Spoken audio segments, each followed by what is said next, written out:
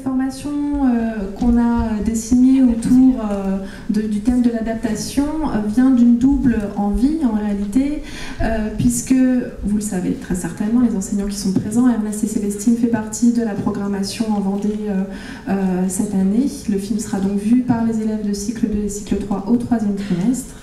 Et on voulait également rebondir sur un film qui a fait l'actualité il y a quelques mois, qui s'appelle Le Grand Méchant Renard, euh, qui est du même réalisateur, enfin en tout cas co-réalisateur, Benjamin Renner.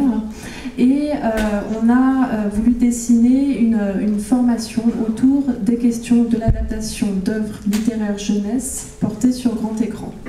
Du coup, on a fait une double invitation à la fois à Jean, à qui est ici présent, qui est euh, euh, co-scénariste du Grand Méchant Renard, mais qui a également travaillé sur une série qui s'appelle Ernest et Célestine en hiver, qui sera présentée en avant-première samedi prochain dans le cadre du Festival du film.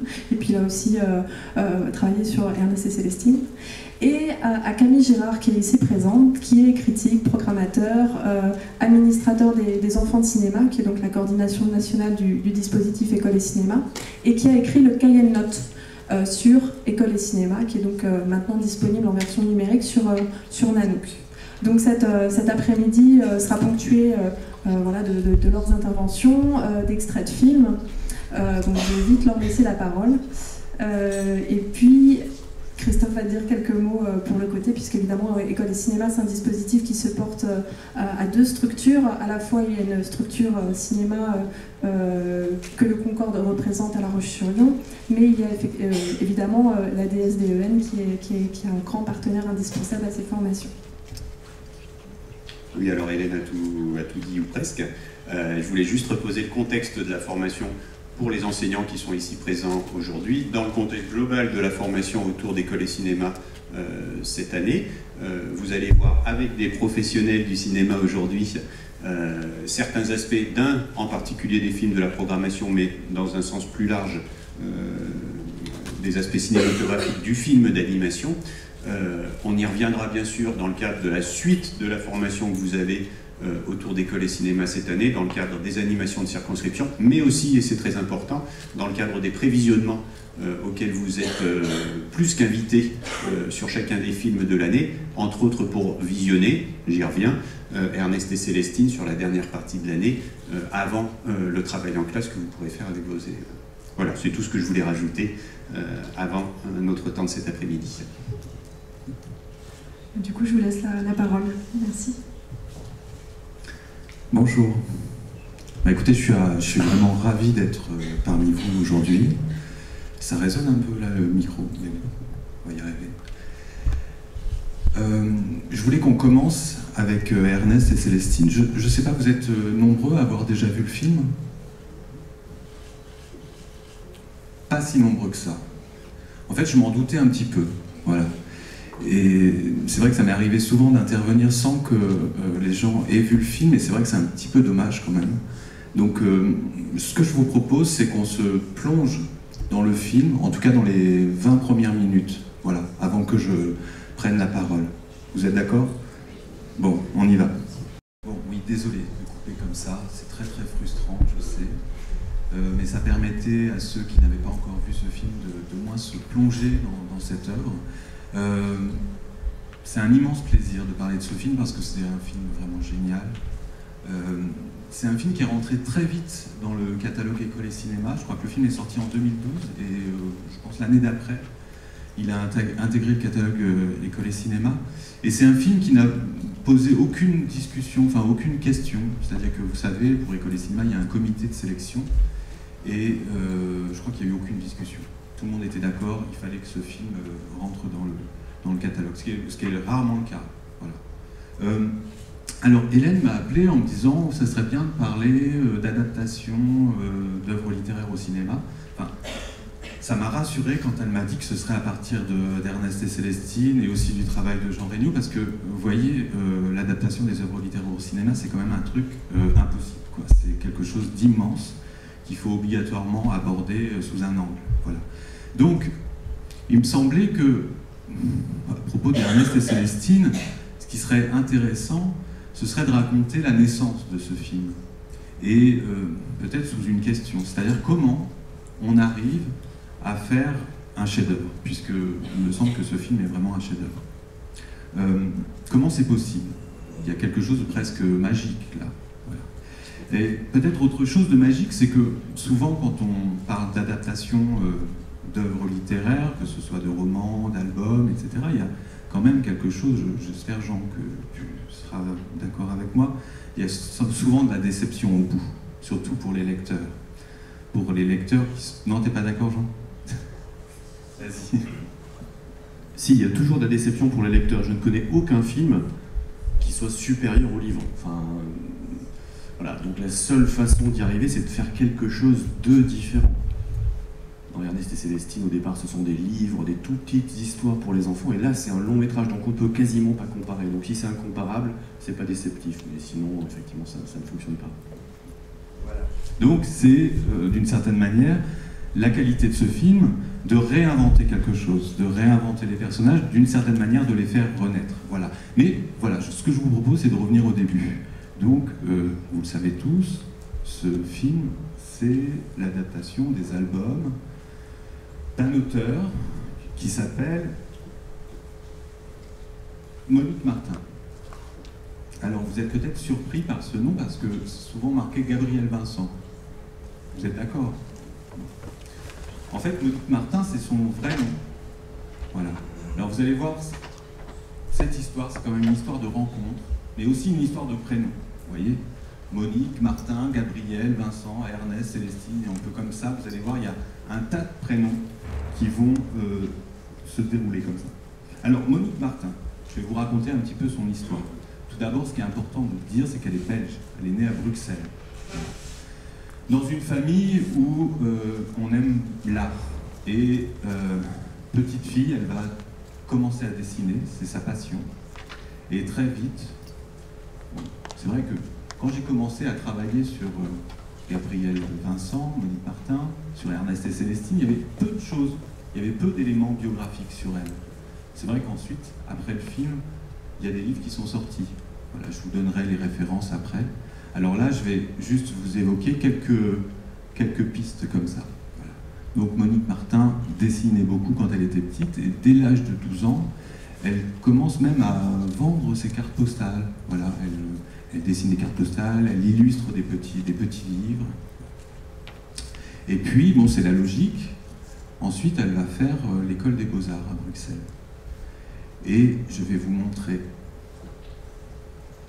un tableau la mise au tombeau. Donc ça, c'est euh, la peinture qu'elle a réalisée pour euh, son diplôme de fin d'études aux Beaux-Arts. On est en 1951. Euh, qu'est-ce que ça vous évoque ce tableau Enfin, qu'est-ce que vous vous dites en voyant ce tableau C'est triste. Oui. Bon, en tout cas, ce qui est marquant, c'est que c'est pas vraiment, euh, comment dire, le genre de tableau qui était produit à cette époque-là dans les écoles. Tu es d'accord, Jean? Hmm. C'est-à-dire qu'il y a, euh, vous allez le voir, Gabriel Vincent, enfin Monique Martin, a toujours été d'une certaine manière à contre-courant. Et là, ce tableau, quand même, il est remarquable, enfin, il dit bien que dès son premier tableau, enfin c'est pas son premier tableau, mais enfin son tableau de fin d'études des beaux-arts, il y a quelque chose complètement à contre-courant. On est dans les années 50, on n'utilisait pas ce genre de couleurs, on n'était pas dans ce, type de figuration, etc. Enfin, pas, trop, quoi. Hein, voilà. Alors ensuite, elle va dessiner, je vous montre quelques-unes de ses œuvres. Là encore, je trouve que d'une certaine manière, elle est à contre-courant de ce qui se faisait à l'époque. Elle est très vite reconnue euh, par ses pairs. Elle devient une artiste peintre euh, très appréciée par la critique notamment. Et je vais très vite. Hein. Elle rencontre un homme, un certain monsieur Smet, à Bruxelles. Euh, évidemment. Euh, cet homme est beaucoup beaucoup plus âgé qu'elle. C'est pas une histoire d'amour, je crois pas. C'est une sorte de, père ou du moins de maître qui lui, qui lui recommande un certain nombre de choses et qui lui dit bon abandonne la, couleur par exemple. La couleur ça, ça sert pas à grand chose. Toutes les couleurs sont dans les nuances de gris, dans le noir et blanc. Donc elle va se mettre comme ça à faire toute une série de, de peintures. Je peux faire dérouler quelques-unes.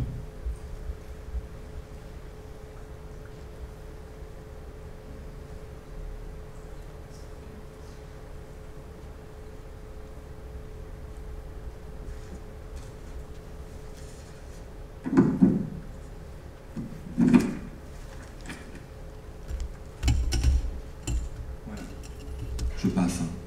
Là, on est quand même dans toute autre chose. Il y a, on pourrait dire, euh, l'illustratrice qui pointe son nez. Alors, pour aller vite, ce que je vais vous dire, c'est que Monique Martin avait un, souci quand même. C'est qu'elle avait énormément de mal à se séparer de ses œuvres. Ça lui faisait, euh, c'était presque pour elle une souffrance en fait, que de se séparer de ses tableaux. Et donc elle a commencé à, produire d'autres choses, des, des petits dessins. Voilà. Mais ça, elle l'a fait euh, presque en cachette. Voilà. Parce que euh, c'était, c'est plus comme ça maintenant. Mais à l'époque, c'était plutôt mal vu. Quand on est un artiste peintre, on ne fait pas de l'illustration. Voilà. Et donc c'est aussi pour cette raison qu'elle va choisir euh, d'autres, enfin un autre nom, un pseudonyme, Gabriel, Gabriel Vincent. Donc Gabriel, je crois que c'est le prénom de son grand-père, et non, Gabriel c'est le prénom de sa grand-mère et Vincent son grand-père. Voilà. Donc pour pouvoir commencer à travailler euh, du côté de l'il- de l'illustration. Voilà.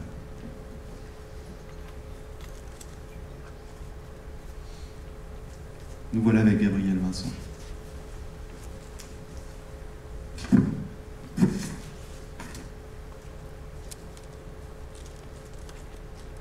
Je passe très vite, on est en 80, c'est le premier album d'Ernest et Célestine.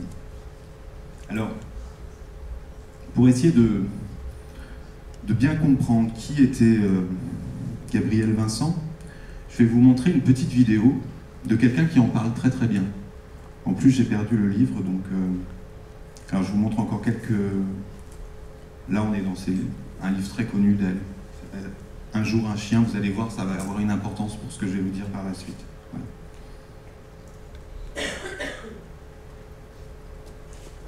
Encore autre, un autre album. On reviendra là-dessus. hein. En fait, euh, elle a passé pendant près de 20 ans, elle avait une sorte de fascination pour le, pour le palais de justice. Et donc elle a fait énormément de dessins. Voilà. Alors je passe, je passe, je passe.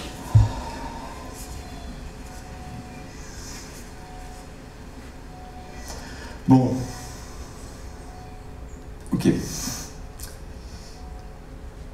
Alors, elle me racontait qu'elle se cachait pour photocopier les maquettes de ses albums, car elle craignait que l'un ou l'autre peintre de ses relations la surprenne en train de faire ça.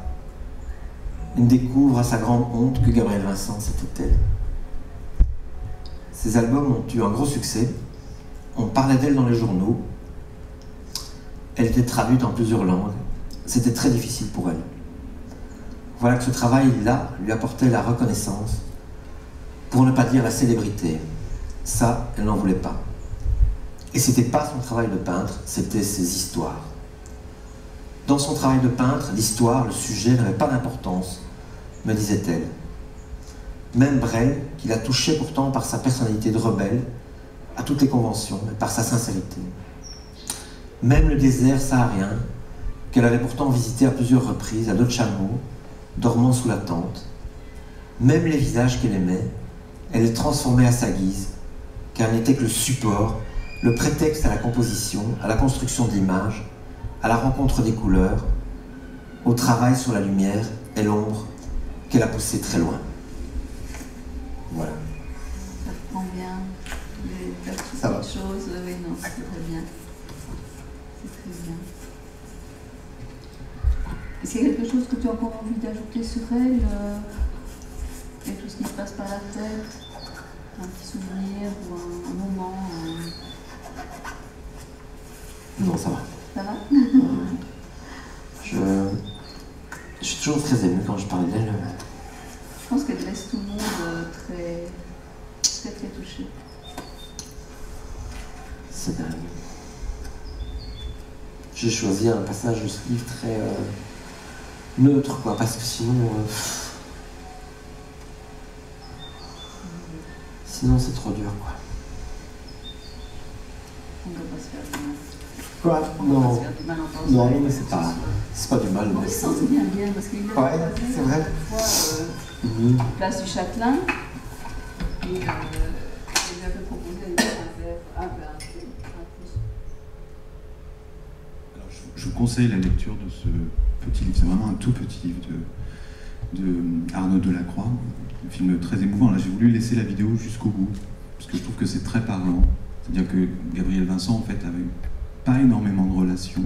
En tout cas, quand elle en avait, c'était des relations extrêmement fortes. Enfin, là, c'est son éditeur, Arnaud Delacroix. Euh, elle a eu surtout beaucoup d'échanges euh, épistolaires. Voilà. Elle était quand même euh, la plupart du temps dans son atelier à Bruxelles à travailler. Voilà. Alors je vais revenir un petit peu en arrière. Je, suis... désolé, j'essaie d'aller très vite pour qu'on puisse avoir le temps ensuite avec Jean, hein, pour, euh, pour parler aussi d'Ernest et Célestine, mais aussi du grand méchant renard et de Ernest et Célestine en hiver. Donc je vais, un peu vite. Voilà. Je voulais euh, parler juste un petit peu point de vue esthétique, c'est-à-dire que comment euh, Gabriel Vincent procédait pour dessiner, pour choisir ses planches. Euh, en fait, a priori, c'est dans le petit livre orange que c'est expliqué, c'est qu'elle dessinait 20, 20 brouillons comme ça, et parmi 20 brouillons identiques, si vous voulez. Et parmi ces brouillons, elle en choisissait un, voilà, qui pour elle, d'une certaine manière, euh, était le plus vrai. Alors je suis pas sûr que nous, en voyant les 20 dessins, on- on aurait, à mon avis, eu beaucoup de mal pour, pour choisir. Voilà. Et elle, il y avait parmi les 20 dessins, celui-ci. Voilà. Euh, on est en Belgique, et en Belgique, quand même, la BD, c'est pas vraiment ça. Voilà. Là, j'ai juste la ligne claire, vous connaissez, hein Voilà. C'est un tout autre procédé, RG. Jean, tu veux dire quelque chose là-dessus, peut-être? Sur la ligne claire, sur. euh, Vas-y. Il y a un petit malentendu sur la ligne claire parce que on appelle ligne claire euh, souvent dans cette façon de dessiner avec euh, le personnage avec un contour, mais la ligne claire ne s'arrête pas au dessin, ça, va, ça englobe aussi les histoires. Donc dans la ligne claire, les histoires sont claires aussi. Elles ont un contour, elles ont un sens. euh, voilà. Petite précision, c'est tout. Et Gabriel Vincent, par rapport à la ligne claire, on est d'accord qu'elle n'est pas là-dedans. C'est la ligne sombre. En termes de dessin, c'est du, crayon, c'est du charbon. Elle dessine avec des trucs qu'elle doit trouver dans sa cheminée. Mais ensuite, euh, même ces histoires aussi sont, assez sombres. Et d'ailleurs, elles ne sont effectivement, je, je mets penser à ça, mais elles sont pas toujours très claires. Parce que quand on, quand on lit ces histoires, il y a plus de choses qu'on ne comprend pas que de choses qu'on comprend. Donc effectivement, c'est c'est l'exact opposé. Ok.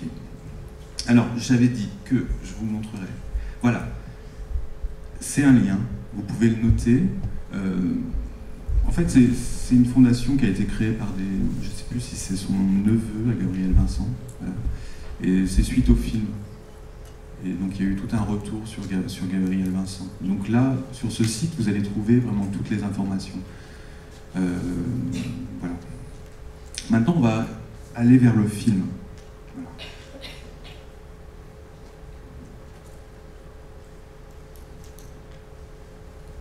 Alors je vous montre la photo d'un monsieur. Est-ce que quelqu'un dans la salle connaît ce monsieur? Jean. Il n'y a que Jean qui connaît en fait ce monsieur. Bon, ce monsieur c'est Didier Brunel.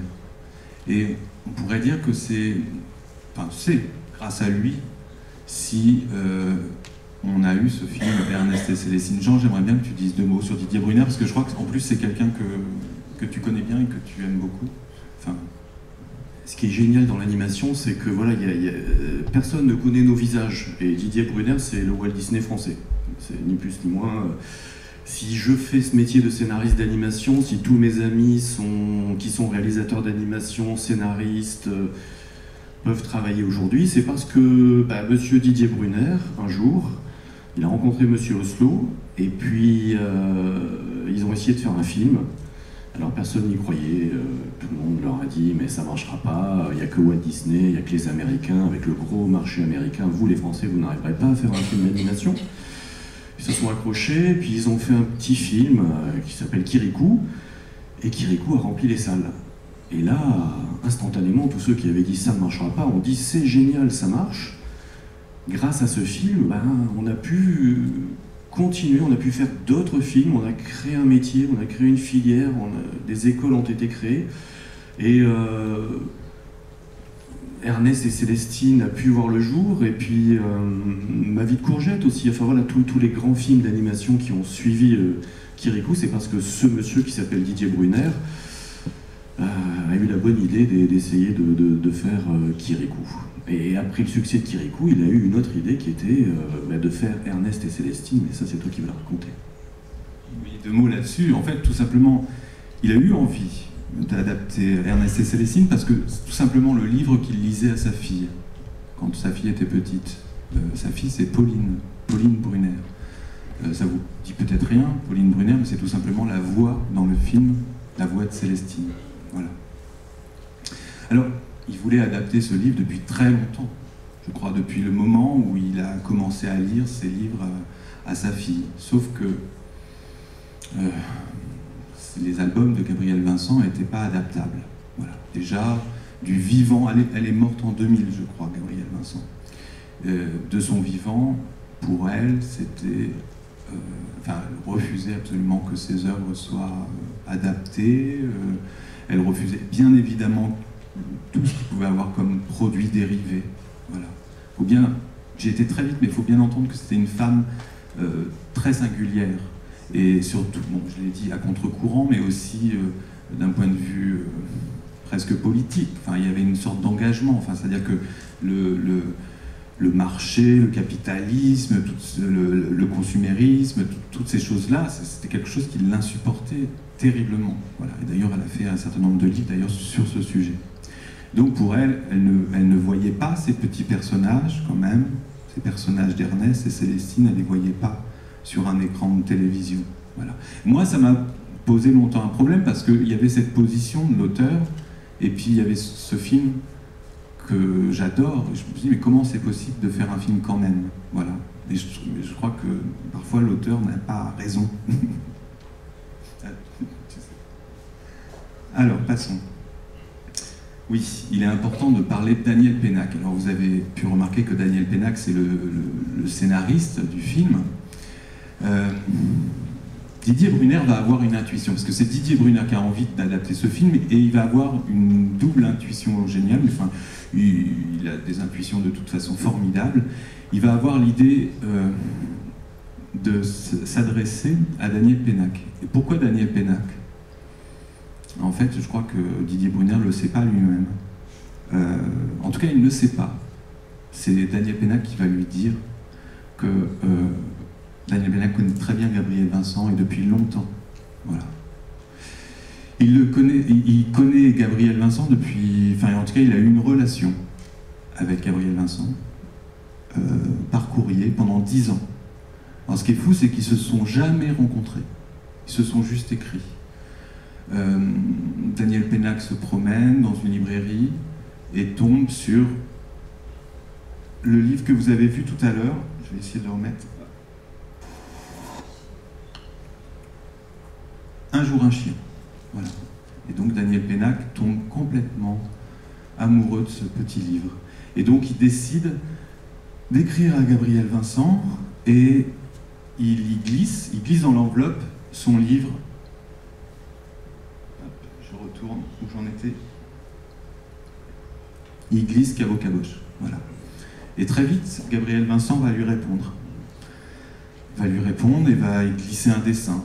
Et lui, et voilà, la relation va commencer, elle va lui envoyer des dessins, lui va envoyer des écrits, des livres, et pendant dix ans, ça va continuer comme ça. Alors ce qui est fou, c'est que Didier Brunner s'adresse à Daniel Pénac sans savoir ça. Voilà.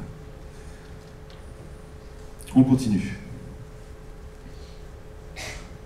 Là, on a un trio de choc. Stéphane Aubier, Vincent Patard et Benjamin Renner.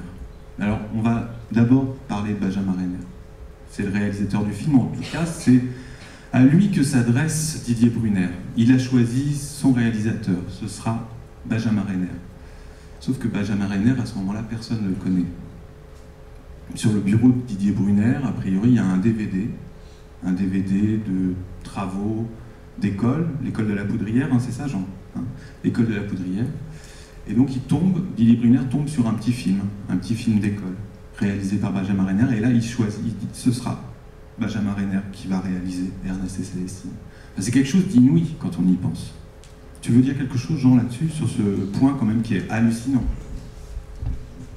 Oui, c'est complètement fou parce que, parce que Didier Brunner choisit Benjamin Renner pour réaliser un long métrage. Un long métrage, c'est 5 ans, 6 ans de boulot.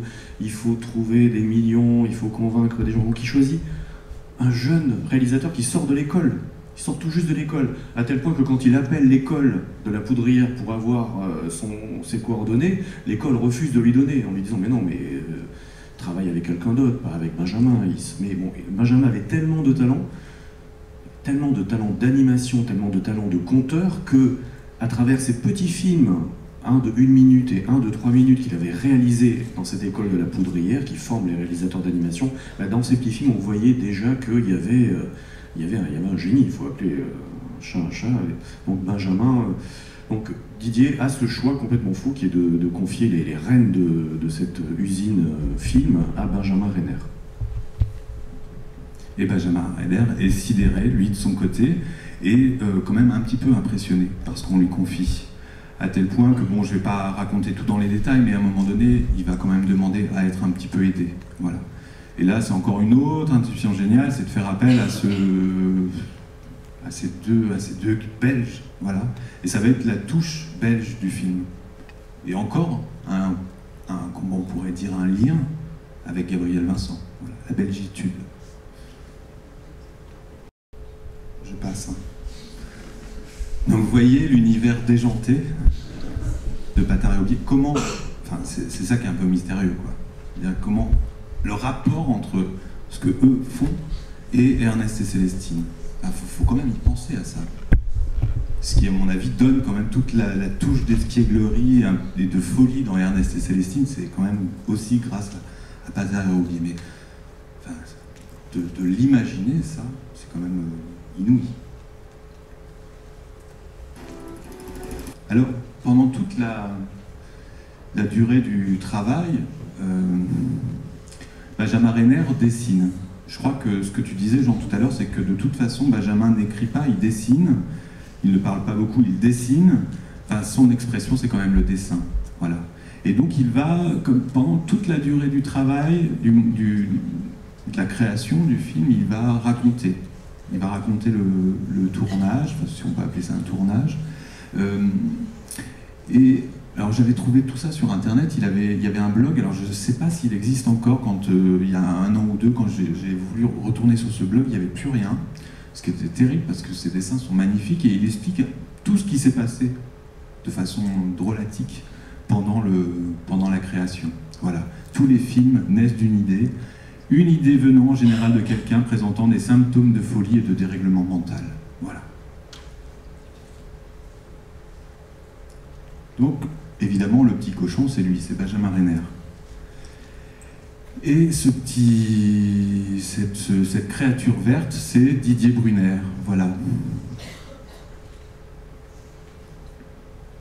C'est génial, hein euh, Vous l'avez reconnu?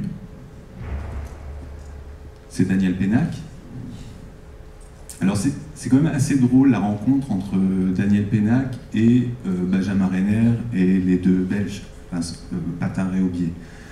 Alors là, Daniel Pénac, c'est bien réussi. Voilà. Alors qu'est-ce que c'est que cette scène? En fait, euh, Daniel Pénac, quand il a écrit le scénario, il a demandé ensuite à Benjamin Renner, à Benjamin et aux deux Belges de venir chez lui pour, euh, pour l'écouter, raconter l'histoire qu'il avait donc écrite, le scénario qu'il avait écrit. Voilà. Et donc là, on voit Daniel Pénac tel qu'on le connaît, il joue le truc à fond. Et on voit la, la position de Benjamin Renner qui est sidéré, effrayé par ce qui se passe. En fait, d'une certaine manière, ce qui l'étonne beaucoup, c'est la manière dont Daniel Pénac va complètement se réapproprier Ernest, enfin, les albums d'Ernest et Célestine. on en parlait tout à l'heure avec Jean. quand même, il va quand j'ai écrit le, cahier de notes, et j'ai appelé ça, la partie, vous voyez, la, partie point de vue, j'ai appelé ça sans dessus dessous. Et vraiment, je trouve que Daniel Pénac va tout mettre sans dessus dessous euh, de cette histoire. Il va inventer les, souris euh, dans le souterrain, les ours au-dessus, etc. Ce qu'on n'a pas dans l'histoire. Et puis les personnages sont quand même un petit peu différents, même si au fond ça, reste les mêmes, mais n'empêche que euh, la petite Célestine dans le film, ce n'est plus euh, cette petite euh, créature fragile et un peu pleurnicharde. Dans le film, elle est plutôt vaillante, c'est une combattante, elle est espiègle. Et puis Ernest, euh, dans les albums, c'est quand même un peu un bon père de famille. Alors que dans le film, c'est un marginal. vous êtes d'accord avec ça? Et donc, tout ça, c'est quand même Daniel Pénac qui a eu ces idées-là au départ. Et euh, Benjamin Renner, d'ailleurs, il l'a exprimé plusieurs fois, il était quand même au début très très surpris de cette, euh, entre guillemets, cette interprétation. Voilà. Jean, tu voulais dire quelque chose là-dessus? Non, ça va? T'es pas tout à fait d'accord, mais c'est pas grave.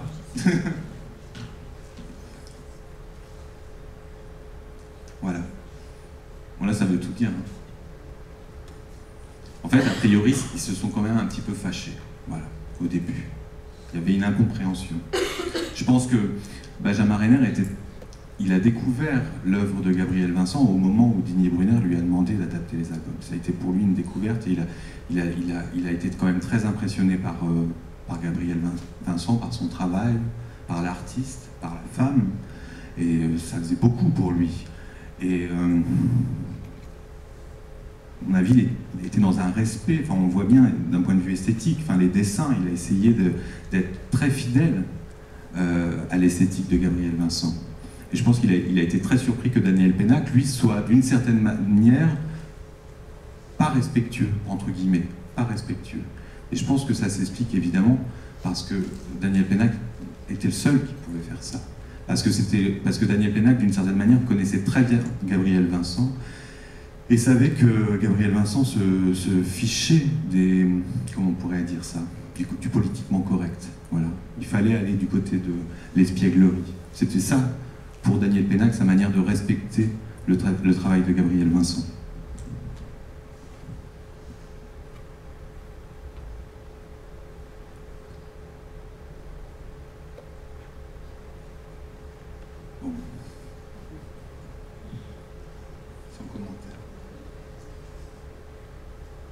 C'est une petite planche, on, voit tout le, travail. J'aimerais bien que Jean dise quelque chose sur la force de travail de, Benjamin Renner, sur ce garçon quand même, euh, qui est, on peut le dire, un génie. Oui, c'est un génie euh, pur, un génie pur. Mais bon, là, c'est ça, c'est une planche qu'on appelle les, turns en, langage technique. Euh, c'est-à-dire qu'on va définir un personnage, on va le faire tourner, et puis ça va aider les animateurs, enfin les dessinateurs à dessiner, ensuite les animateurs à animer. Mais la force de, Benjamin Renner, puisque c'est lui qui a réalisé ce, film. Alors comment on fait un film d'animation? Il y a un scénario, Daniel Pena qui fait le scénario, et ensuite il y a des réalisateurs qui vont s'en emparer pour faire un film. La première étape consiste à faire un storyboard animé, un animatique. C'est un terme de métier, c'est la grande force du cinéma d'animation, c'est-à-dire que avant que le film existe, on peut déjà voir à quoi il va ressembler. Un animatique, c'est un rough, c'est crobardé. On, a, on a tout le film, voilà, 1h20 de, 1h20 de film, avec des voix qui sont des voix témoins. Souvent, quand le réalisateur, c'est Benjamin, il sait faire toutes les voix, donc il va faire toutes les voix, ce sont des, des fausses voix, bien sûr, mais on voit tout de suite ce qui marche, ce qui ne marche pas on voit ce qui fait rire, ce qui fait pas rire. Et ce travail d'animatique, le travail sur animatique peut durer longtemps, et avec Benjamin, ça dure extrêmement longtemps. C'est là où se situe la réussite, le potentiel de succès du film, il est dans cette phase-là. Donc la force de Benjamin, c'est de beaucoup, beaucoup, beaucoup, beaucoup travailler cette animatique dans Ernest et Célestine, et ensuite euh, dans Le Grand Méchant Renard.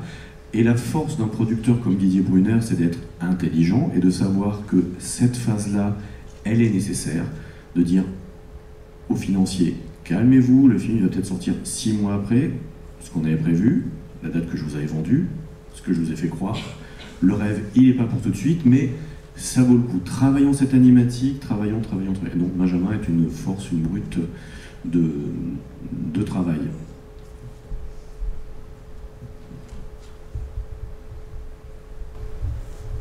Bon, je suppose que vous comprenez pourquoi je vous ai montré ce, cet extrait de Kid, que vous avez peut-être vu euh, dans le dispositif, non?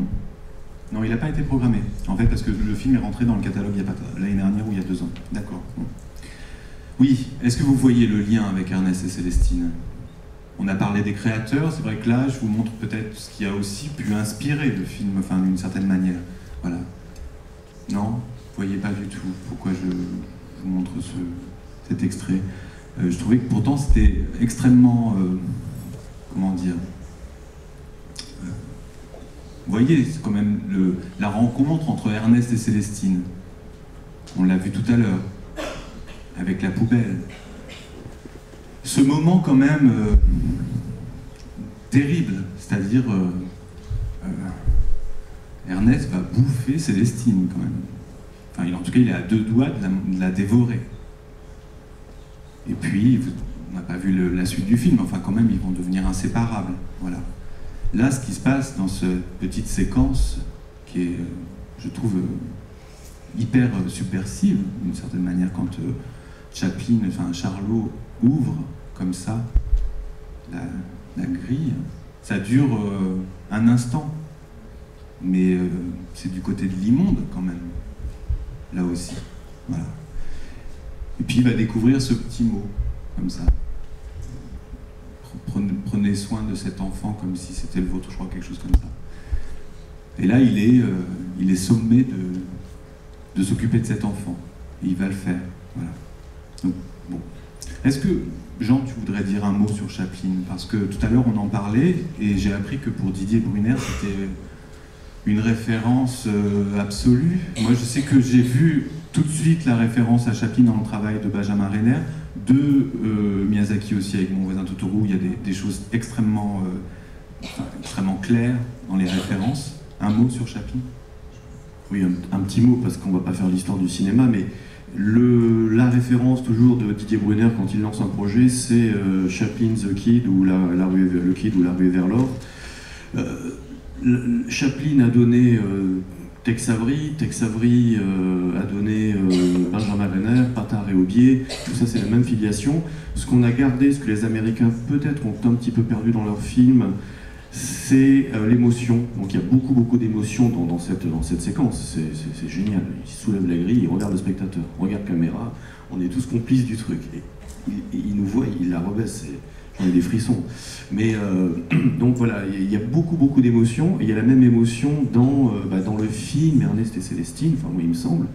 Euh, et c'est pour ça que le travail de, de Pénac était bien fait, parce qu'il a su quand même, même si c'est une farce, même s'il y a beaucoup de choses drôles, garder, garder l'émotion. Ce qui est très amusant aussi, c'est quand on adapte une œuvre, on joue avec l'œuvre originale ou originelle. Et dans un des albums d'Ernest et Célestine, euh, Ernest trouve Célestine dans une poubelle, mais avec une explication complètement différente. Et là, euh, voilà, Pénac nous refait l'histoire euh, différemment. Elle est endormie avec sa dent. c'est une orpheline, c'est- une, une autre histoire. Mais voilà, tout vient, de, tout vient de Charlie Chaplin, tout vient de Buster Keaton. Peut-être aussi un mot avant qu'on passe au grand méchant renard, essayer de se laisser le maximum de temps. Euh, un petit mot quand même sur ces deux personnages que sont Ernest et Célestine. Euh, je trouve que dans le film,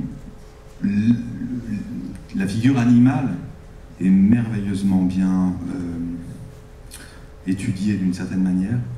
Euh, parce que ce sont deux animaux qui sont quand même très particuliers. Je veux dire qu'un ours, c'est pas un loup. Voilà.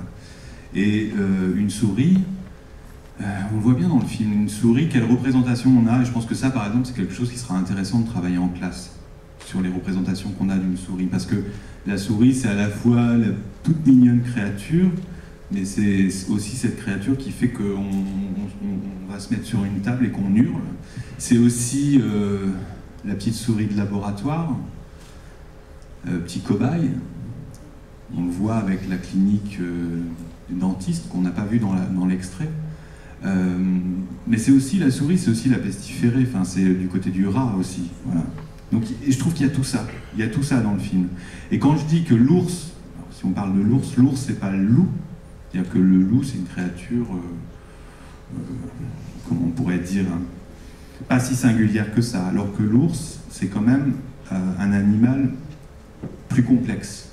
Voilà. On a là encore plein de représentations, c'est-à-dire que c'est à la fois le nounours, quoi, et puis c'est aussi la créature féroce, voilà. Mais c'est aussi euh, l'animal déchu. Et tout ça est merveilleusement incarné dans le film. Voilà. Euh, bon, j'ai été très vite, j'en suis désolé, je suis passé sur beaucoup de choses, mais maintenant on va pouvoir prendre le temps aussi de, discuter un peu plus avec Jean du travail qu'il a fait euh, comme scénariste du Grand Méchant Renard et ensuite de Ernest et Célestine sous une autre version, Ernest et Célestine en hiver. Alors, ce que je propose, c'est qu'on projette le... Vous n'étiez pas là ce matin Non Comment Vous étiez en cours Oui, mais en fait, c'est parce qu'il y avait des classes ce matin. C'est pour ça que je dis ça. Vous auriez pu accompagner ces classes. Voilà. Donc on va voir le, début du Grand Méchant Renard. Donc c'est euh, un bébé à livrer, le premier épisode. Est-ce que tu veux faire une courte petite présentation du film? Ce sera mieux que. Alors une présentation. Donc euh, Benjamin Renner, le réalisateur, Ernest Célestine, ça vous avez compris. Euh, Benjamin Renner, il fait aussi de la bande dessinée et il a fait une bande dessinée qui s'appelle Le Grand Méchant Renard. En fait, il en a fait trois, une qui s'appelle Un bébé à livrer aussi, et une autre qui s'appelle Il faut sauver Noël. Donc il a fait trois bandes dessinées.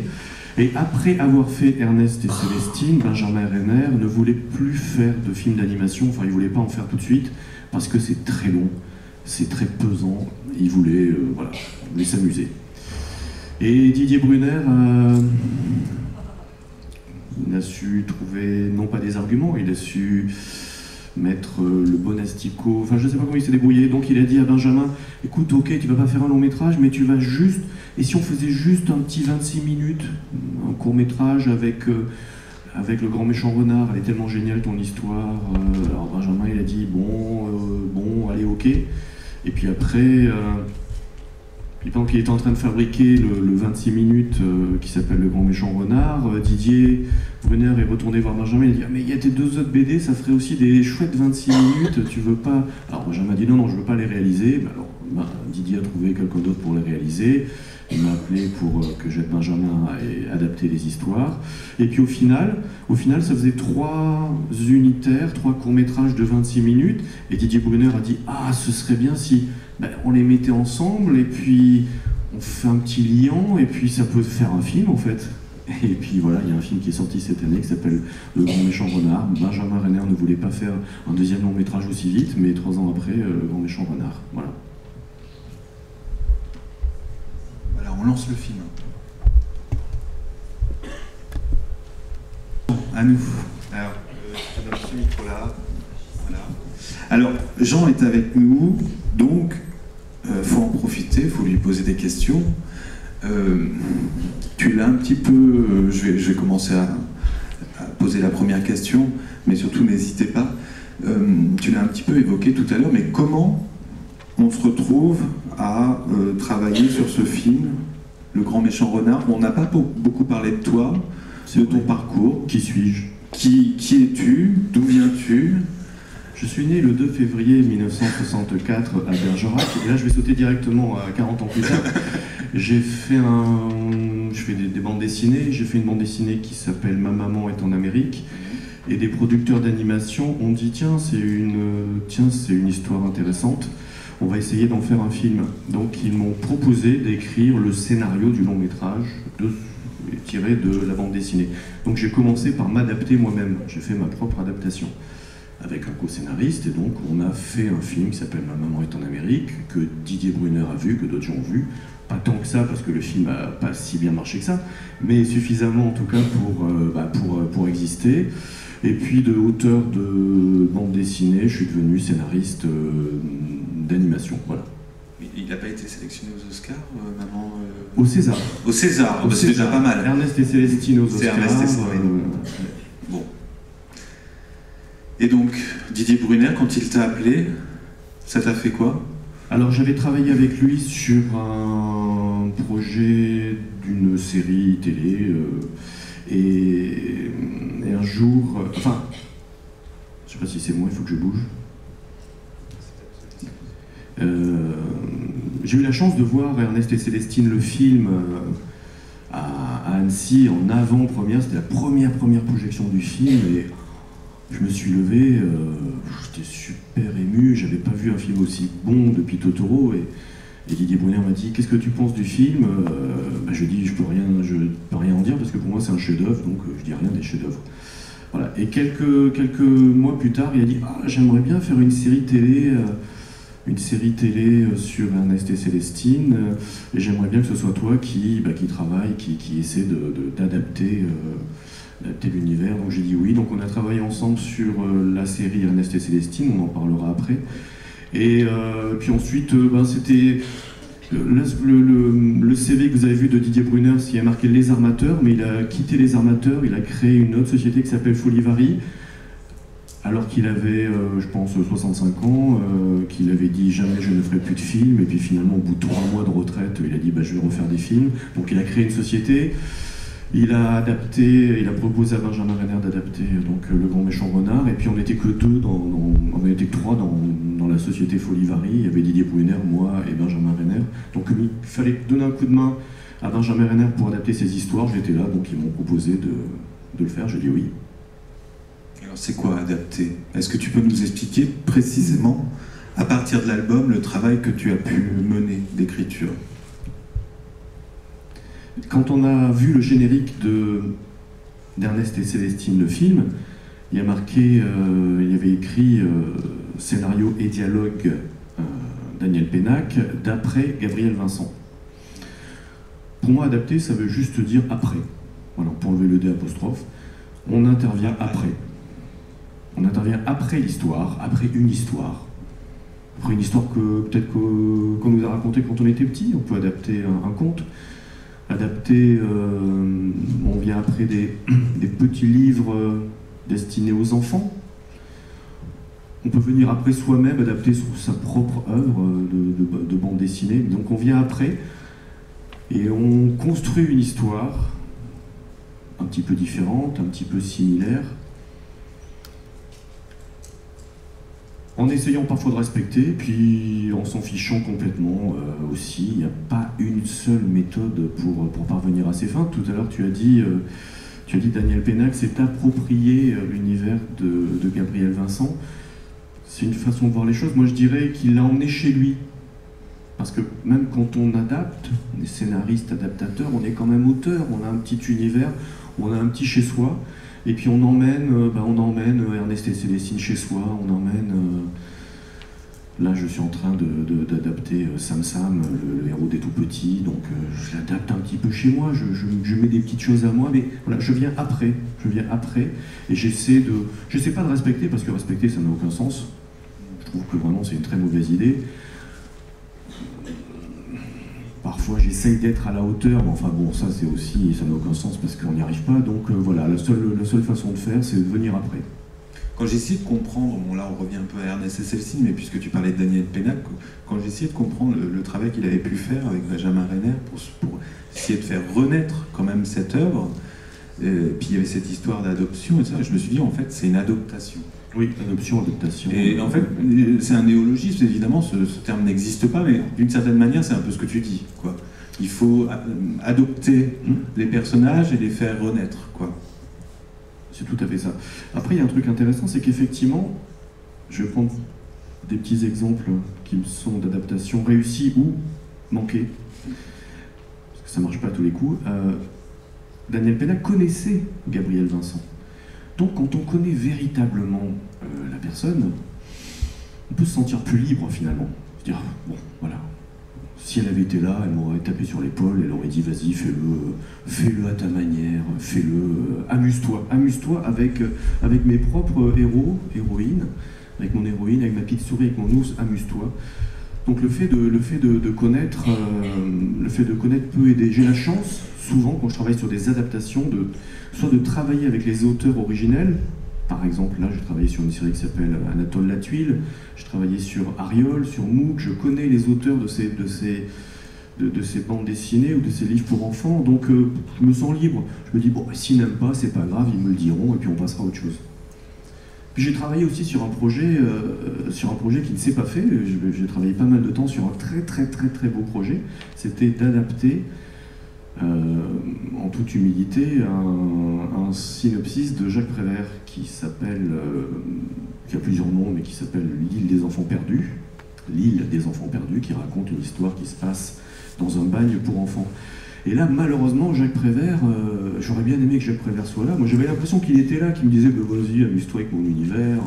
Donc, je me suis amusé avec cette histoire, humblement. Mes potes me disaient Tu vas jamais y arriver.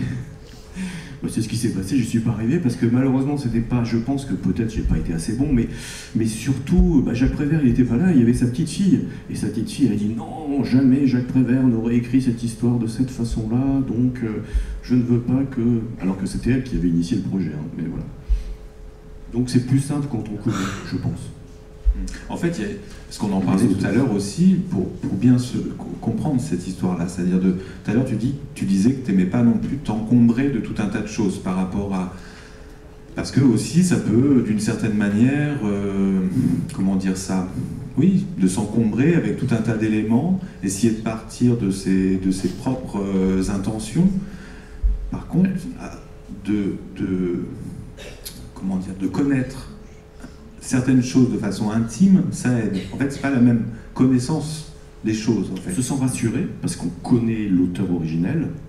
Se sent rassuré parce que si ça marche pas, c'est pas grave. Par contre, si on connaît trop de choses, si on connaît trop d'éléments, si on commence à trop vouloir respecter, si on commence à essayer de garder toutes les intentions qui sont dans un livre, et dans un livre, Dieu sait qu'il y a beaucoup d'intentions. Si on essaie de garder tous les éléments forts, si on connaît toute la vie de Gabriel Vincent, son œuvre, euh, là on peut vraiment être encombré parce que, parce que quand on raconte un. quand on écrit le scénario d'un film, même d'un épisode d'une série télé, il faut une seule histoire, un seul angle. Donc tout ne peut pas rentrer dedans. Il faut enlever, enlever, enlever. Donc c'est parfois plus simple de, voilà, de connaître les gens, mais sans trop, euh, sans trop savoir de choses. Ça peut, ça peut nous aider aussi euh, dans ce travail d'adoption. Si on connaît trop les parents, je pense qu'on peut difficilement adopter euh, l'enfant. Est-ce qu'il y a des questions dans la salle? Non? Faut pas hésiter, hein. on est entre nous. Moi, je voulais te, te poser une question, Jean, parce que quand on adapte un album, c'est rare, non, je dis juste, juste, Parce que ce matin, j'étais devant des, enfants, ils ont tous levé la main. Et bon, c'est vrai qu'il y avait des questions qui étaient complètement farfelues, mais n'hésitez pas à poser des questions farfelues. D'ailleurs, souvent, les enfants ont pris le micro pour poser des questions qui n'en étaient pas, mais c'est pas grave non plus. Qu'est-ce qu'ils ont posé comme question d'ailleurs euh, C'était sur euh, le grand méchant renard. Ben, il, y y avait des questions sur, euh, sur, sur l'histoire, sur les personnages. Puis la dernière question était est assez intéressante. C'est pourquoi, euh, alors c'est pas l'histoire que vous avez vue, c'est une autre histoire. C'est l'histoire qui suit, c'est dommage que j'ai coupé, euh, qui est pourquoi un renard peut adopter des poussins. Pourquoi les poussins considèrent que le renard euh, est leur maman Parce que c'est la, deuxième histoire. Donc une histoire d'adoption. Une histoire d'adoption. Oui, donc la question que je, voulais te poser par rapport à l'adaptation, c'est que on part d'une image qui est préexistante, mais une image fixe et qu'il faut animer. Bon, ça, c'est le travail du, dessinateur, du réalisateur. Mais il y a les voix. S'il y a bien quelque chose qui change entre l'album et puis le film, c'est que les personnages deviennent non pas peut-être parlants, mais du moins font entendre leur voix. Et euh, j'ai l'impression quand même que ça parle un petit peu plus dans les films que dans les livres. Est-ce que tu es d'accord avec ça? Qu'est-ce que, Parce que tu parlais aussi de l'importance des voix on leur donne une voix là en les adaptant les personnages. Bah, on a tous fait cette expérience, enfin en tout cas les plus ceux qui sont aussi peu jeunes que moi, d'avoir lu des, histoires, euh, par exemple d'Astérix. Puis ensuite, on va, on a vu à la télé la voix de Pierre Tornade et on s'est dit ah mais il parle pas du ou de Gérard Depardieu et on se dit mais il parle pas du tout comme ça Obélix euh, dans ma tête, il parle pas du tout comme ça Astérix dans ma tête. Mais nous, en tant que scénaristes, ça nous aide de savoir que c'est Gérard Depardieu, que c'est la voix de Gérard Depardieu, que c'est la voix de Pierre Tornade, que c'est... Euh, si, on a le timbre de voix euh, dans, l'esprit, c'est beaucoup plus facile de faire, euh, d'écrire les dialogues. Donc, comme par exemple sur la série Ernest et Célestine, la, la série a été conçue après le film, même si elle ne s'inspire pas de l'univers du film, nous avons créé un univers différent. On avait la voix de, de, de Lambert Wilson et, et- et de Pauline Brunner qui nous guidaient pour, euh, pour, euh, pour animer, pour faire dialoguer les, les personnages. Et dans le grand méchant renard, les voix. Dans Le Grand Méchant Renard, je ne sais pas si vous avez apprécié la qualité des... des- vous, vous avez regardé un, un film, mais la qualité des voix. Remarquable. Si vous voyez un film comme par exemple L'âge de glace, euh, vous pouvez être un peu, euh, peu énervé d'entendre toujours, euh, comment s'appelle-t-il on reconnaît les acteurs, euh. Parce que Omar Sy, j'adore Omar Sy, mais quand Omar Sy fait une voix de doublage pour un dessin animé, c'est un petit peu pénible parce qu'on voit toujours euh, le physique d'Omar Sy qui s'impose sur, exposition par- rapport à sa voix. Là, dans Le Grand Méchant Renard, ce ne sont que des comédiens de théâtre, des comédiens connus, des comédiens spécialistes de l'animation, souvent ils viennent du théâtre, sont pas des comédiens connus.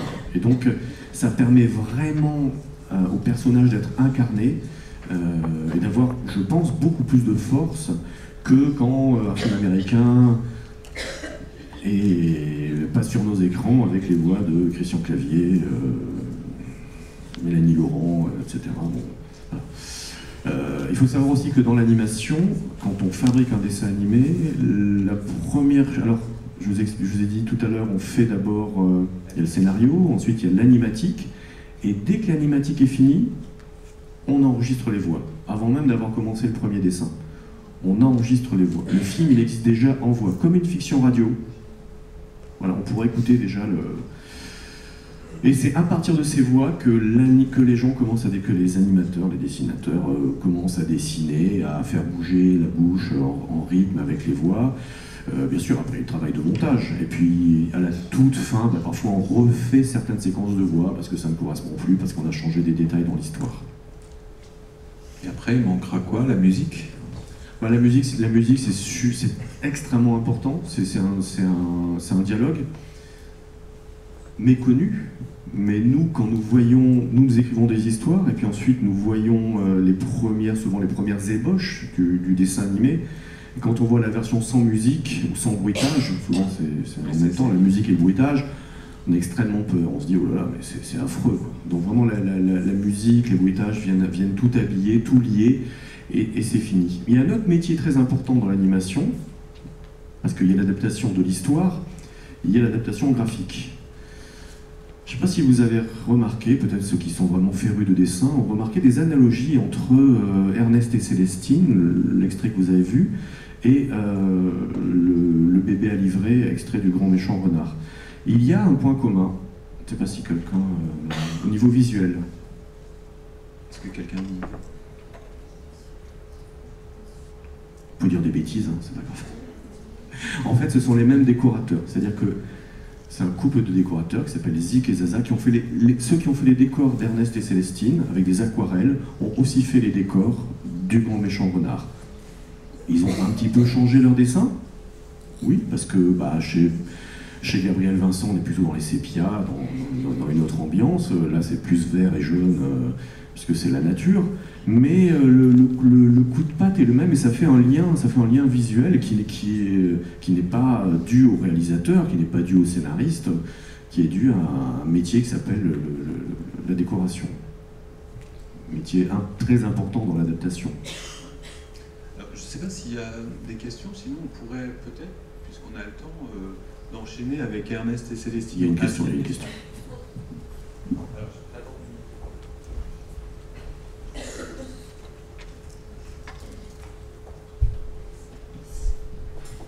Bonjour, je voudrais savoir quelle est, euh, en tant qu'auteur, la différence de votre travail quand vous écrivez euh, une BD ou un scénario? Alors quand on écrit, euh, quand on écrit, bon, la différence, je dirais que c'est un peu le même travail quand même. hein, c'est un, peu le même travail parce que en tant, qu'auteur, moi je ne suis que scénariste, donc je fais de toute façon des scénarios. Ce sont des scénarios de bande dessinée et des scénarios d'animation. De, en fait, je vois les images dans ma tête. C'est-à-dire que vraiment, euh, ce n'est pas une démarche littéraire. Je mets de la littérature parce que je connais la littérature, j'aime la littérature, je mets, des, je, mets des techniques littéraires, mais vraiment, je ne fais que décrire ce, que je vois euh, le, plan que je vois, que j'imagine, et je le décris avec le moins de mots possible pour laisser de la place après, soit à l'auteur de bande dessinée, soit, euh, soit au réalisateur d'animation. Par exemple, quand j'ai écrit la bande dessinée Ma maman est en Amérique, en fait, j'ai fait comme Benjamin Renner, j'ai fait des dessins, je fais des croquis. Parce que je dessine très mal, mais j'arrive à faire des croquis quand même. Donc j'ai fait des croquis. Et ensuite, j'ai enlevé tous les dessins. Et j'ai vraiment mis en une ou deux lignes ce qui se passait pour laisser complètement la, la place libre à, l'illustrateur euh, Émile Bravo qui, a illustré le, livre. Mais euh, voilà, c'est exactement la même démarche. Par contre, il y a deux aspects vraiment différents, c'est auteur ou adaptateur. C'est-à-dire que, bien sûr, quand j'adapte, il y a une part d'auteur, j'emmène l'univers euh, chez moi, mais je ne suis pas le créateur des personnages si je crée une histoire, je, fais ce que je veux. Après, parfois, on me dit, bah, tu as fait ce que tu voulais, mais ça ne nous plaît pas. Bon, bah, tant pis. Une autre question? Non? On peut. On va alors lancer. On en profite, puisqu'on a le temps, on va lancer ce film Ernest et Célestine en hiver, qui est un film qui n'est pas encore sorti. Oui, donc. Euh, après le film Ernest et Célestine, nous avons euh, fait une série donc 26 épisodes pour la télévision. Et 4 épisodes de cette série, qui est, la série est diffusée en ce moment sur France 5, 4 épisodes ont été rassemblés dans un programme de court métrage qui s'appelle Ernest et Célestine en hiver. Euh, là encore, on a adapté, puisqu'on avait le choix. Enfin, on, nous a demandé de repartir des livres on a quand même utilisé les personnages qui étaient dans le film, on est reparti des livres, mais on a créé un troisième univers. Parce que dans les livres, ce que Gabriel Vincent raconte, si vous regardez bien les albums de Gabriel Vincent, vous allez être surpris d'une chose, c'est qu'en fait les souris sont les enfants des ours. C'est sa représentation des enfants et des adultes. Quand on voit des, quand on voit des enfants, c'est que des souris, quand on voit des adultes, c'est que des ours. Il n'y a pas d'enfants ours ou de parents souris. Il faut savoir aussi, euh, par rapport à ce que tu disais, que qu'Ernest et Célestine, c'était un peu les enfants de, Gabriel Vincent, puisqu'il n'en a pas eu, et c'était sa, projection, euh, c'est pour ça que c'était si important pour elle. Donc il y a l'univers des livres de Gabriel Vincent. Daniel Pénac, lui, il a construit un monde où les souris habitent en bas et les ours habitent en haut. Deux univers. Et nous, on a fait un troisième choix qui était euh, les ours représentent les hommes. Donc c'est un mélange des deux, en fait. Les ours représentent les hommes, les hommes, les êtres humains. Les souris, euh, bah, c'est les exclus, les vanupiers, euh, les miséreux qui habitent dans des trous, dans des cabanes. Euh, voilà. Donc c'est un peu une fable sociale que nous avons installée dans la série, avec, en essayant quand même d'être parfois amusant, d'être enfin, drôle, puis parfois aussi un petit peu, un petit peu profond. enfin, je ne sais pas si on y est parvenu, mais en tout cas comme dans les histoires de Gabriel Vincent. Euh, la technique utilisée n'est pas du tout la même parce que l'économie d'un film n'est pas l'économie d'une série télé. Donc en fait, il faut savoir que pour fabriquer une minute du dessin animé que vous allez voir, la production a dix fois moins d'argent que pour fabriquer une minute du long métrage. Donc forcément, il y a des choix, il y a des astuces à trouver. Une des astuces qui a été choisie, une astuce technique, c'est d'utiliser une autre technique. Dans euh, le film Ernest et Célestine, c'est du dessin pur, pur et dur. Même si c'est sur ordinateur, c'est du dessin. Dans la série, on utilise de la 3D, mais pas comme euh, oui oui, je vous rassure, de, la 3D aplatie, rendue 2D. Donc c'est un peu comme si c'était du dessin, mais ça coûte beaucoup moins cher à la fabrication. Mais la chance qu'on a, c'est que ben, on a utilisé, euh, on, a pu s'appuyer sur les mêmes décorateurs, encore une fois, Zik et Zaza, le, duo qui a travaillé sur Ernest et Célestine et sur Le Grand Méchant Renard, sur, même, sur, les, sur le même musicien, euh, sur la même voix de Pauline Brunner. Donc voilà, on a, on a essayé de, garder tout ce qu'on pouvait de l'univers, et puis après on a emmené ben, Ernest et Célestine chez nous. Il y a une dizaine de scénaristes qui ont travaillé. Sur cette série. Très bien, mais on découvre le premier épisode d'un film donc, qui va sortir au mois de décembre. Programme de La Roche-sur-Yon Non. Non. voilà. Donc il est projeté samedi, donc je, je, pense que vous pourrez aller le voir avec vos enfants. Voilà, ce film. Est-ce qu'il y a des remarques peut-être euh, par rapport à ce, film, euh, des questions?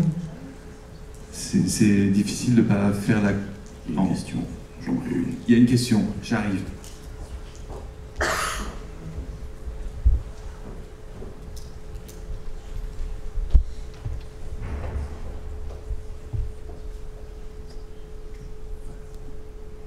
C'est peut-être pas en rapport avec l'extrait qu'on vient de voir, mais euh, J'aimerais savoir quand est-ce que vous êtes aperçu que le monde de la BD, le monde de l'animation, c'était votre univers? Qu'est-ce qui a fait que vous êtes lancé là-dedans? Est-ce que c'était à partir d'un livre, d'un film? Quand est-ce que la flamme est venue Je crois que j'ai toujours voulu écrire, mais euh, quand on est enfant, on ne veut pas écrire des bandes dessinées ou des. Et quand je suis devenu adolescent, j'avais plutôt envie d'écrire. j'ai écrit mon premier roman policier quand j'avais 7 ans. Il faisait 10 pages aucun éditeur n'en a voulu, bien sûr. Mais euh, voilà, j'ai toujours écrit, et puis à l'âge de. Quand on devient jeune adulte, on a plutôt envie d'écrire des, choses un peu noires, un peu. qui parlent métamorphose, métampsychose, transformation des corps. Donc les, trucs pour enfants, ça m'intéressait pas du tout. Mais j'avais beaucoup d'amis qui faisaient de la bande dessinée, je, je regardais ça d'un œil un petit peu circonspect, voire hautain. Et puis euh, j'ai découvert un auteur qui s'appelle, euh, dans qui s'appelle Daniel Goussens, qui m'a fait beaucoup rire. Et puis après, euh, voilà, je me suis dit, en fait, la BD, c'est pas si mal que ça. Donc j'y suis venu presque contre mon gré. C'était pas, pas ma volonté, mais, mais c'est génial. J'ai découvert sur le tard, finalement, que bah, je trouve que si on veut changer le monde, on ne peut pas faire grand-chose à part Messi, président de la République, peut-être, et sinon écrire des histoires pour les enfants. Voilà. Et quand on écrit des histoires pour les enfants, on se dit mais bon sang peut-être je vais faire passer un petit quelque chose de ce que je pense du monde dans ces petites têtes et peut-être que ces petites graines bah, vont devenir. Euh, aujourd'hui je trouve ça merveilleux et je trouve que j'adore mon métier.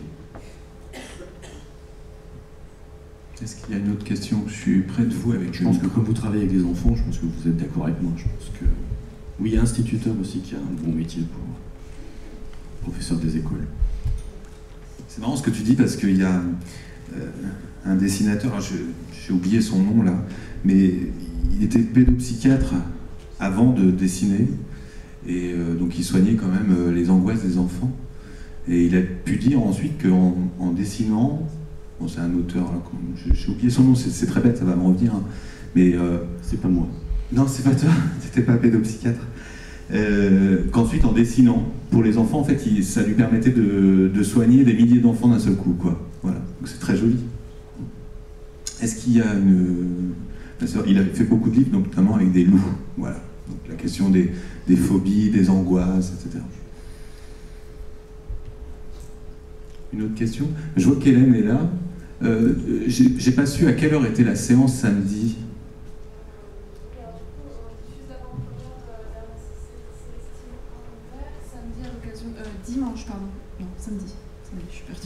l'occasion d'un ciné petit-déj. Donc c'est samedi à 10h30 avec le petit-déj qui est avant. Donc on, présente le film, euh, le programme euh, en présence de la distributrice euh, Tiana de, de KMBO. Donc ça sera aussi un autre point de vue de l'approche des films, celui de la, distribution.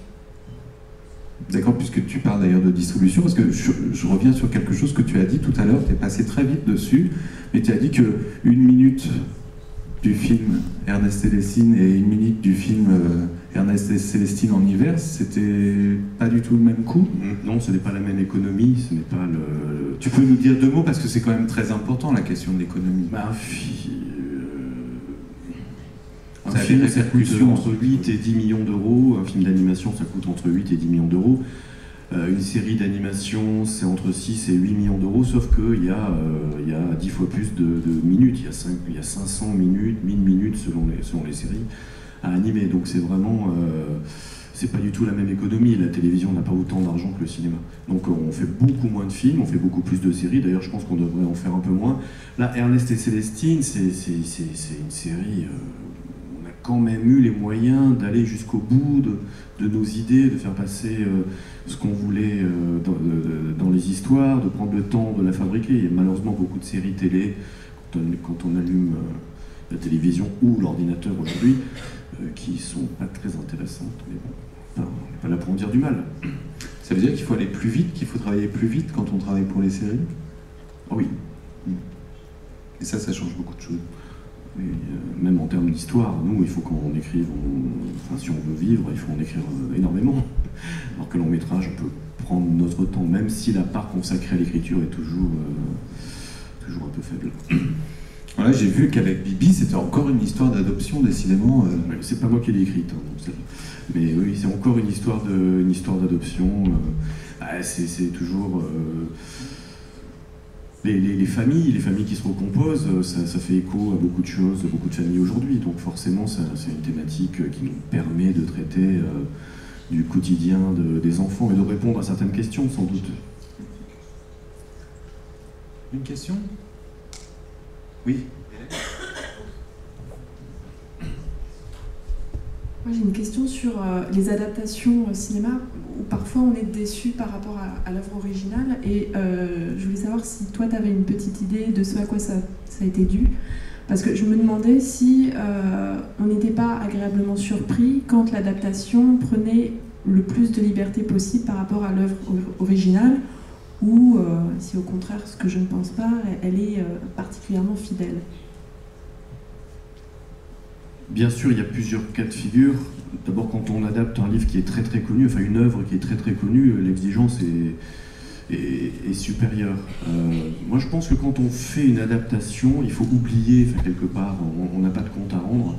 Et, euh, c'est pas grave euh, si, le, film est moins bien que le livre, parce qu'encore une fois, parce qu'encore une fois, les livres sont toujours meilleurs.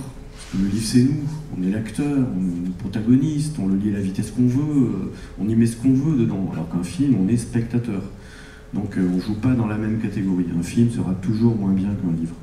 Mais pour avoir une petite chance, avoir une petite chance, et puis je pense aussi que, les films s'adressent aux gens qui n'ont pas lu les livres. C'est-à-dire que la première expérience que j'ai eue là-dedans, c'est ma maman est en Amérique. Les gens qui, ont adoré la bande dessinée, détesté le film et m'ont fait savoir, euh, parfois frontalement, et parfois c'était des amis très proches d'ailleurs. Donc euh, pour avoir une, chance de s'en sortir, il faut euh, oublier l'œuvre originale et recréer quelque chose, il faut être ambitieux, il faut prendre des risques, quitte à se casser la figure. Mais si on est trop fidèle, si on est trop proche, si on veut trop faire la même chose, ça ne marche pas. Enfin, je pense que ça ne marche pas.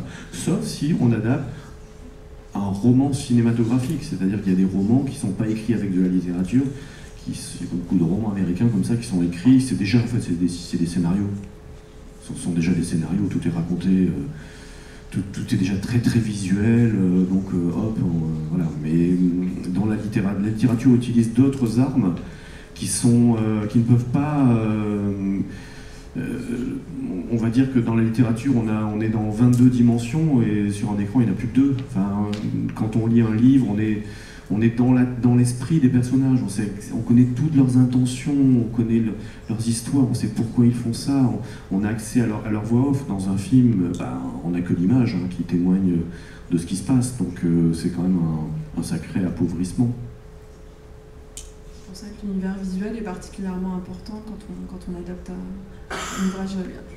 c'est un des exemples qu'on a pu avoir dernièrement avec Ma vie de courgette, par exemple. L'univers de Claude Barra est tellement euh, puissant et fort visuellement que. Ça, c'est un des rares exemples où le, je pense le film est meilleur. Enfin, meilleur, ça ne veut rien dire, mais euh, je trouve que le film est un chef-d'œuvre, alors que le livre, c'est un livre très bien, il y a des bonnes choses dedans. Mais pour parvenir à, ce, bah, chef-d'œuvre qui s'appelle Ma vie de courgette, euh, Céline Sciamma, qui est une excellente scénariste, a emmené l'histoire chez elle. Elle a fait son histoire, elle avait déjà fait Tomboy, hein, bon, c'est pas si loin que ça, hein. avec, euh, avec des dialogues euh, souvent assez simples. Comme dans Le Grand Méchant Renard, les dialogues, en fait, ils sont simples, c'est des phrases simples. On n'est pas du tout. En France, euh, il y, a y a deux malédictions dans le cinéma en France c'est le cinéma d'auteur et Audiard. Parce que les films d'Audiard, ils sont géniaux, mais c'est Audiard. Donc euh, on va pas commencer à essayer d'écrire des dialogues à Audiard, ça n'a aucun sens. La force des dialogues, pour moi, c'est la simplicité, et ce sont des dialogues qui font avancer l'histoire. Et puis le cinéma d'auteur, euh, avec cette mauvaise interprétation qu'on a du cinéma d'auteur, c'est-à-dire euh, le réalisateur tout-puissant qui n'a pas besoin de scénariste, ce qui est une erreur parce que par exemple Truffaut avait un scénariste, et, voilà, il n'écrivait pas les, films tout seul, donc c'est pour moi les, deux malédictions dont on se débarrasse petit à petit. Mais l'animation, oui, avec les images, par contre, euh, ce que ça permet, ça permet de s'affranchir des décors, enfin de- de- des- des descriptions de décors qui dans la littérature sont parfois un peu pesantes. Et puis, euh, je sais pas, ça, pour, pour rire, je trouve que le, dessin animé quand même fait plus rire que, que la littérature. Bah, si si j'écris, euh, si, si tu vois euh, un homme tombe euh, dans une bouche d'égout, franchement, tu vas pas rire. Quoi. Alors que si tu le vois tomber, si tu lis un, un chien fait du skateboard, enfin, et puis si tu le vois vraiment, voilà, ce qui fait rire, c'est l'image quand même. L'œil l'œil est directement connecté. euh, En fait, c'est le burlesque, au- au- au le, sourire. le burlesque qu'on trouve. euh, Le burlesque, mais même les dialogues, parce que les dialogues, ça dépend comment ils sont dits. Le bon comédien va te faire rire avec euh, est-ce que ça vous gratouille ou est-ce que ça vous chatouille? Alors que si tu lis la phrase, bon, bah, c'est sympa, mais est-ce que ça vous gratouille, est-ce que ça vous chatouille, on s'en fiche un peu. Quoi. Donc il y a l'interprétation du comédien, il y a le mouvement, tout ça pour, pour rire. euh, enfin, les, grands ouvrages comiques, il n'y a pas des masses, on va pas dire euh, trois hommes dans un bateau. Enfin, je veux dire, c'est, c'est voilà, pour, pour rire, euh, c'est mieux. Mais pour réfléchir, c'est moins bien.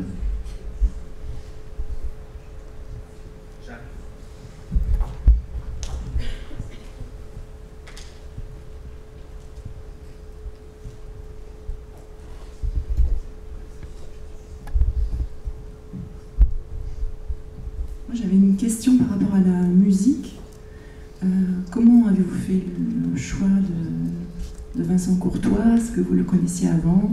Et d'autre part, à quel, moment il intervient? Est-ce que c'est euh, en s'imprégnant de bah, peut-être des albums euh, de Gabriel Vincent ou bien au moment du storyboard ou plus tard quand tout est achevé Comment est-ce qu'il compose sa musique? En fait, je ne sais pas comment il a été choisi euh, à l'origine. Je pense que c'est de la même façon, les gens se connaissent, ils ont vu, euh, ils ont entendu euh, telle ou telle œuvre, ils essayent, et puis quand ça fonctionne, comme ça a fonctionné dans le film, le producteur lui a tout naturellement proposé bah, de, continuer son travail dans la série. Dans la série, il est, intervenu très tôt, c'est ça qui est, c'est- ça c'est la chance aussi qu'on a eue, c'est-à-dire qu'il lisait nos histoires au fur et à mesure, il proposait, là c'est une, c'est une, c'est un épisode où il n'y a pas de chansons, mais il y a pas mal d'épisodes avec des chansons. Donc, euh, donc euh, avant même l'étape dont je parlais, qui est celle de l'animatique, juste en lisant le scénario, déjà, euh, il, proposait des musiques. Nous, en tant que scénariste, on rebondissait, on a écrit des petits textes. Parfois, c'est des textes de deux lignes, parfois des chansons un peu plus, un peu plus longues. Euh, ce qui fait que quand les animateurs ont commencé à fab- fa- fabriquer les épisodes euh, de, la série, il y avait déjà euh, le, morceau qui était enregistré. et ça, c'est vachement bien. Ça, c'est un confort. Ça, donne une force. La musique, la musique n'est pas ajoutée. Il y a de la musique, ce qu'on appelle la musique d'illustration, ok. Mais il y a aussi Ernest est un musicien, donc il va vraiment jouer de l'accordéon, il va vraiment chanter un morceau en rapport avec l'histoire. Donc ça apporte de la force. Ça aussi, euh, dans un livre, euh, quand on lit une chanson, quand c'est moins, moins puissant. Donc la musique est un élément, voilà, fait, partie des, forces, euh, forces du cinéma. Vous verrez dans le petit cahier de notes, en fait, j'ai écrit toute une partie sur la musique dans le film Ernest et Célestine, parce qu'en effet, c'est un point extrêmement important. A priori, Vincent Courtois a travaillé au fur et à mesure que le film s'est fabriqué, ce qui est très rare, c'est ce que tu disais. hein. Bien souvent, on a une musique qui vient s'ajouter à un travail qui est déjà terminé. Là, il, a participé en fait à, ce- à ce- à cette élaboration, fin de compte. Et ce qui est très intéressant, notamment dans le film, c'est les, instruments qui- sont choisis pour accompagner les personnages. Et ce ne sont pas des instruments choisis au hasard. C'est-à-dire qu'en effet, bon, tu, tu parlais d'Ernest, de l'accordéon, enfin, c'est l'instrument qu'il joue, mais dans le film, aussi le violon, voilà, un violon. Euh, c'est quand même drôle parce que le violon, on est du côté d'une certaine noblesse, l'accordéon, côté un peu populaire, et donc ça dit tout du personnage. C'est-à-dire que c'est quand même, dans le film, un personnage qui est un personnage déchu. Il passe du violon à l'accordéon d'une certaine manière. Et du côté de Célestine, elle, ses instruments, il y en a deux. Donc c'est le côté un petit peu divisé du personnage. Il y a le piano, très bien dans, le début du film quand elle, elle grimpe le long de la façade, il y a des petites notes de piano comme ça, donc c'est le côté euh, très percussif. Alors il y a des enseignants qui m'ont reproché parce que je disais que le piano c'était de la famille des percussions.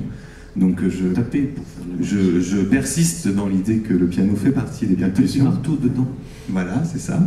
Donc c'est son côté percussif. Et puis il y a la clarinette, qui est l'autre instrument qui accompagne très souvent euh, Célestine c'est un instrument beaucoup plus doux, qui se, voilà, qui se faufile, qui se, voilà. Donc il y a tout un... Il y a à écouter, en fait, puis la, partition de Vincent Courtois, c'est quand même un, grand, grand musicien de jazz.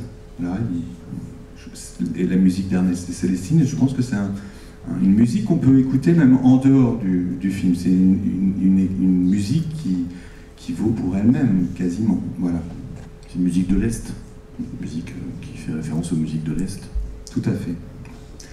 Est-ce qu'il y a une autre euh, question, une remarque?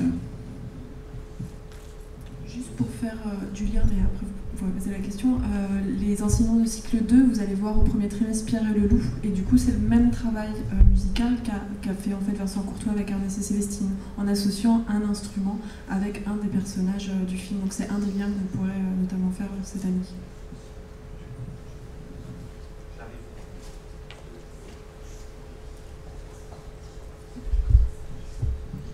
Euh, au, générique, j'ai vu qu'il y avait le. Vous, vous n'êtes pas au scénario et dialogue, mais la Bible littéraire, c'est ça? Oui, parce qu'il y a 26 épisodes dans la série. J'en ai écrit, euh, je crois, 7. Mais d'autres scénaristes sont intervenus. Donc celui-ci, c'est une auteure qui s'appelle Béatrice Martouré. Moi, j'ai écrit la Bible, la Bible littéraire. Alors écrire la Bible, il faut être un peu prétentieux, mais c'est juste une mauvaise traduction d'un mot anglais. Hein. Donc euh, la Bible, c'est ce qui contient toute la description de l'univers. Donc j'ai retravaillé à partir euh, des albums euh, très peu du, film. J'ai recréé un univers avec cet Ernest-là qui est un petit peu vagabond, enfin qui n'est pas vagabond, qui est en fait dans la dernière maison du village, un peu un exclu. Il vient de notre pays qui s'appelle la Charabie, ce qui explique qu'il parle un peu en charabiof de, de temps en temps. Et Célestine étant une souris, c'est aussi, euh, c'est aussi une exclue. Donc, euh, ce sont, sont, deux marginaux qui vont essayer de, non pas de se trouver une place, mais qui vont montrer qu'ils sont, euh, sont à l'aise dans la société, même en étant marginaux. Et du coup, les autres scénaristes ont travaillé à partir de la Bible littéraire que vous avez Voilà, et de discussions qu'on a eues, surtout au début de la série, on écrivait, je dirais pas qu'on écrivait tous ensemble, mais dans une méthode un petit peu, en là pour le coup, américaine. on dans une, pièce, euh, les, scénaristes arrivaient avec des bouts d'histoire et puis euh, on les aidait à construire en fonction, en cohérence avec l'univers qu'on connaissait bien, que moi je connaissais bien parce que j'avais travaillé longtemps dessus. Euh, c'est une méthode qu'on applique là sur une série qui s'appelle Chien où je travaille avec Patard et Aubier. Chien les albums que vous connaissez sans doute, les petits livres de Marc Boutavant et Cola Gutmann. On travaille en, en collégialité et je pense que voilà, même quand il y a que le nom d'un scénariste, derrière ce scénariste, cet adaptateur, il y a toute une équipe, et c'est comme ça qu'il faut travailler, sinon ça ne fonctionne pas. Et du coup, est-ce que vous avez euh, connaissance, je ne sais pas si vous pouvez le dire, mais d'autres projets qui seraient en cours euh, d'adaptation, comme ça, en cours de travail, euh, d'œuvres littéraires c'est surtout alors, dans l'animation, les, projets dont j'ai. Alors oui, il y a un projet très intéressant dont je vais vous parler, mais euh, voilà par exemple, je viens d'adapter donc Sam Sam, le héros des plus petits, donc Chien pourri, ça c'est vraiment super. Quand la série va sortir dans, dans deux ans à la télé, vous allez vous régaler parce que c'est ce que vous avez vu tout à l'heure, Pic Pic André, voilà, c'est ces gens-là qui ont, avec qui on écrit les histoires, c'est vraiment, vraiment marrant. Euh, il y a un très beau projet euh, en ce moment qui est en train d'être construit, euh, une adaptation très forte qui s'appelle Toby, alors j'arrive jamais à dire Loneless, mais c'est pas Loneless, c'est Toby. Toby Loneless, c'est ça? Qui, devient, qui va devenir une série, donc 6 épisodes de 52 minutes. Euh, dans deux ans, ça c'est un gros gros travail pour mes amis scénaristes parce que ça représente euh, quelque chose de colossal. Et ils font comme moi, mes copains scénaristes, ils travaillent avec l'auteur originel, Timothée de Fombelle. Donc euh, ils ont bien parlé avec lui, puis ensuite ils s'éloignent un petit peu. ils disent ok maintenant on va faire, on va faire notre façon pour que ce soit que ce soit intéressant, en tout cas en essayant, et puis que ça rentre dans l'économie aussi de la télévision. Les gens qui font ça, c'est ceux qui avaient fait une série qui s'appelle Les Grandes Grandes Vacances, que vous connaissez peut-être, que tous les enfants devraient regarder, qui devraient avoir vu en tout cas, qui, qui, qui raconte la Deuxième Guerre mondiale vue à hauteur d'enfant.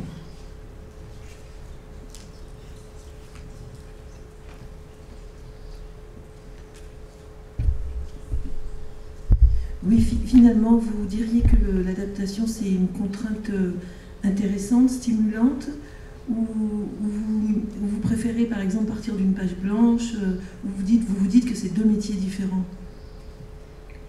C'est le même métier, mais après, euh, bon, c'est plus ou moins le même métier, mais pour employer une image un peu stupide, c'est un peu comme cuisinier et pâtissier. Enfin voilà, pâtissier pour vraiment, c'est des ingrédients, une certaine cuisson, 180 degrés, pas 190 ça c'est pâtissier, alors que cuisinier, on prend ce qu'on a sous la main, donc on est plus créateur, euh, voilà. Donc on serait plutôt du côté des pâtissiers quand on est adaptateur, mais il faut quand même une dose de folie et, de création. Euh, ça c'est une chose, et l'autre m'a... Oui, non, la vraie question, la vraie question finalement, c'est pourquoi on adapte? Voilà, parce que ce soit plus facile, oui, plus facile d'adapter. C'est surtout plus facile pour les producteurs, parce qu'on est en France. Aux États-Unis, c'est un marché beaucoup plus important. Donc, euh, quand les gens de Disney ils veulent faire une histoire, eh ben, il faut une histoire. Donc, ils vont payer 25 euh, scénaristes pour faire euh, une histoire de deux pages.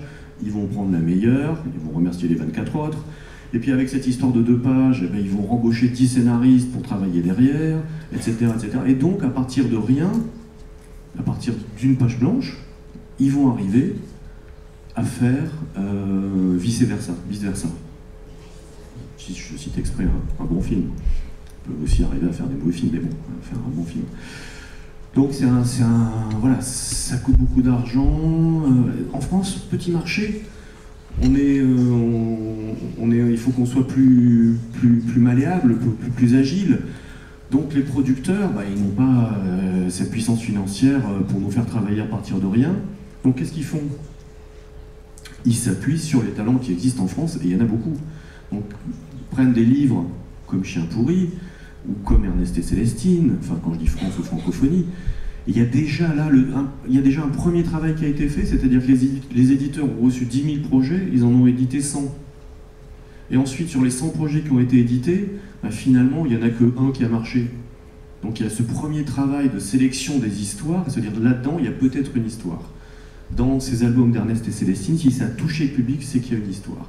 Donc le premier travail n'est plus à faire, mais ensuite il faut quand même qu'on construise. Donc on va quand même, euh, nous, intervenir, scénaristes, euh, adaptateurs, et à travers euh, ces premiers filtres, installer une histoire. Mais le souci, c'est souvent que quand les histoires sont très littéraires, c'est parce que ça a été des succès de librairie, des livres, des bandes dessinées euh, à succès que, euh, que ça peut fonctionner au cinéma.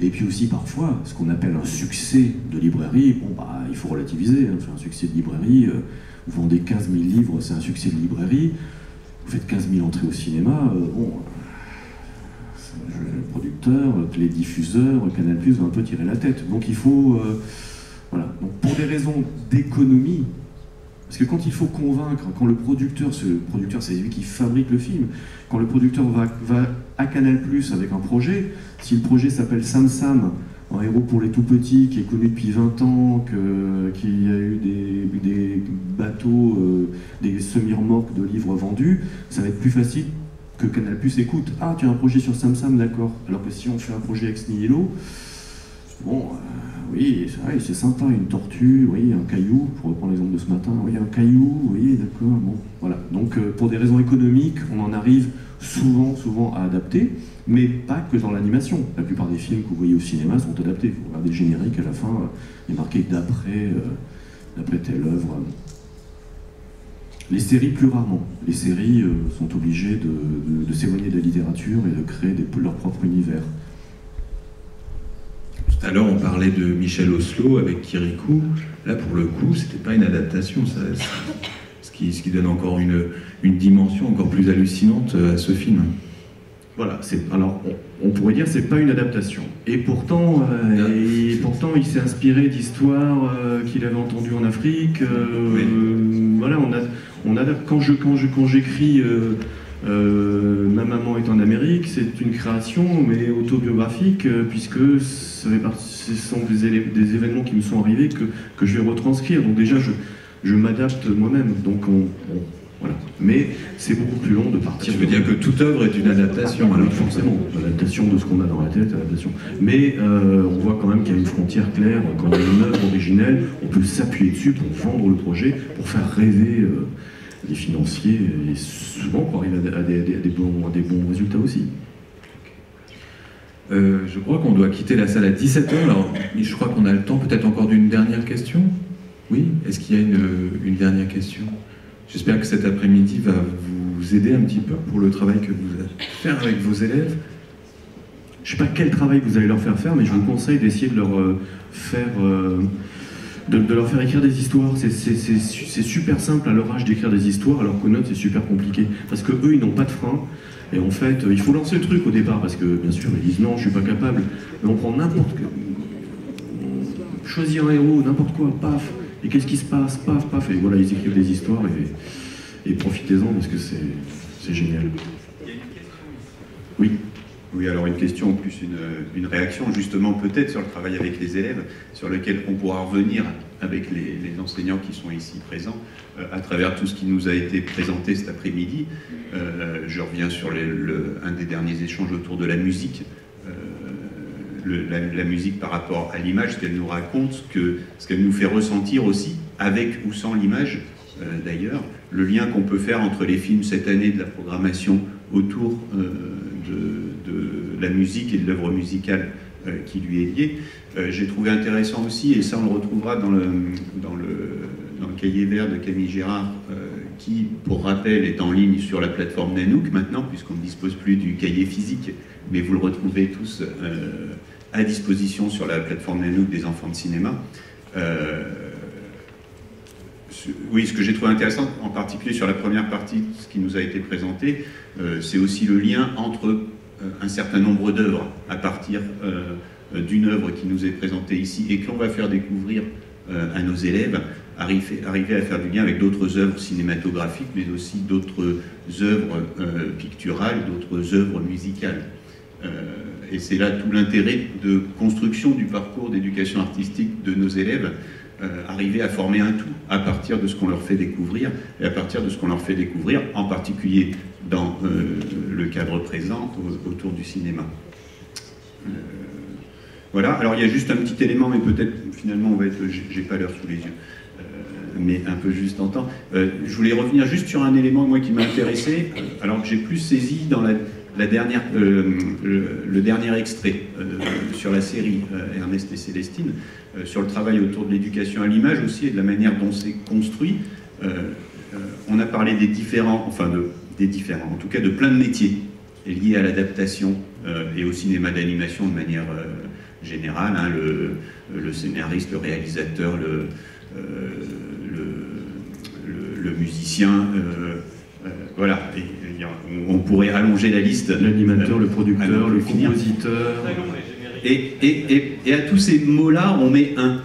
Euh, et sur une adaptation en particulier d'un album, euh, d'un album pour enfants, euh, on a un dessinateur, un ou deux dessinateurs en fonction des albums. En l'occurrence, Ernest et Célestine, on a une artiste au départ. sur une adaptation comme ça, on n'a pas trop creusé la chose, mais il y en a une multitude finalement. Euh, on a parlé des dessinateurs ou des illustrateurs qui vont intervenir.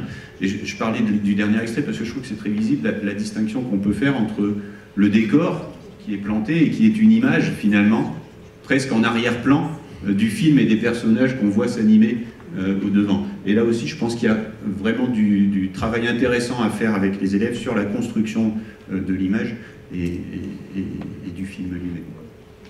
Et il y a différentes techniques dans l'animation. Donc il y en a une qui s'appelle le stop motion, l'animation en volume, où on fait du image par image. Et c'est la succession de toutes ces images, de toutes ces photos qui va faire le film. C'est comme ça qu'a été réalisé Ma vie de courgette. Patard et Aubier, qui sont les rois du, stop motion. On fait, on fait trois modules de 7 minutes. Vous tapez sur internet super fastoche. Voilà, super fastoche. Et avec des peluches, ils expliquent comment faire un film, euh, comment faire un film d'animation, comment faire une petite séquence animée. Dans la classe de ma fille en CE2, ils font un petit, un petit film animé à partir de, ça. Super fastoche. On doit arrêter là, les c'est ça? Il y a, une, dernière question? Parce la salle est occupée, hein, c'est ça? Ok. Eh bien, merci beaucoup. J'espère que ça... Merci beaucoup à. Salut.